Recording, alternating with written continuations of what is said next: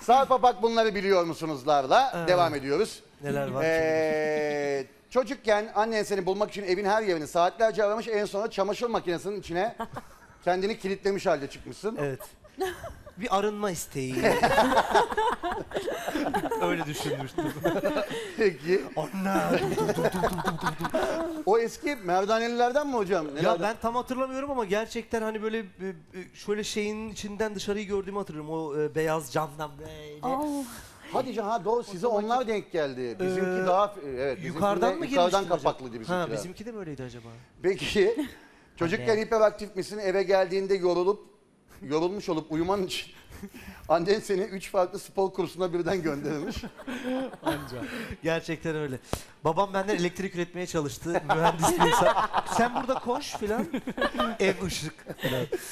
evet. Ye- yemek yemek için dünyanın yemek yemek için dünyanın öbür ucuna gidermişsin. Et ve kebap özellikle. Her şeyi yerim. Çocukken maç yaptığınız bir sırada bir teyze size kızmış. Evet çok kızdım. Ee, sen teyzeye dönüp dur ben halledeyim demişsin. Ve arkadaşlarının hepsini tek tek tokatlayıp gidin buradan maç yapmayın diye bağırmışsın. A- acı ama gerçek. öyle olmuştu evet. Utanmazdım Güzelmiş ya. küçükken. Üniversite tiyatro provalarına metni okumadan gidermişsin ama gene de okumuş gibi ateşli konuşmalar yaparmışsın. Bunu kim söylediyse artık. Uğur her Bilgin. yerde mutlaka her yere mutlaka 15-20 dakika geç gidermişsin. Aa, Uyanamamandan olabilir mi? Nasıl? Ha, Yani gecenin ağır geçmesinden. Yok canım ben, Biraz sanki öyle gibi. ben normalde hiç geç kalmam ya. Halı saha maçına gitmeden önce galaya hazırlanır gibi hazırlanmış. Ah be abi evet çok, bu çok doğru gerçekten. En çok giyim kuşamı orada özellikle. Başkasından güzel bir hikaye duyduğun zaman kendin yaşamış gibi başkalarına anlatırmışsın. Sen kimlerin Bunları gerçekten bilmiyordum ben de yani. kimlerle görüşüyorsun? Eşimizi dostumuzu tanıyoruz biz ya. Hay Allah ya. Erkek kardeşinin ismini sen koymuşsun. ne? Ee, Zeytinberk. Neydi? Mehmet Berk. Mehmet Berk. Evet. Ben Şifo Mehmet hayranıydım da o yüzden Mehmet olsun dedim.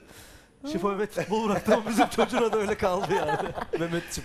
Birileri muhabbet ediyorsa illa gidip muhabbete dahil olurmuşsun. Evet, salçayım biraz. 20 yıllık arkadaşın Kenan'la aynı evi paylaşıyormuş. Kaan, paylaşıyormuş. Kaan. Kenan'la. Kaan'la evet, pardon Kaan'la. Sabahlara kadar PlayStation'da maç yaparmışsınız. Yap Ee, Guti'yi çok severmişsin. Severdim de Fernandez, Alex ve Semih Şentürk'ü beğenirmişsin. NBA'yi ta- te- takip edermişsin. Kobe Bryant, Kobe Bryant, Kobe Bryant'ını Ben anladım. Bryant'ı kendinin keşfettiğini düşünüyormuşsun. ben keşfettim onu gerçekten. İşte bu çocuk dedim.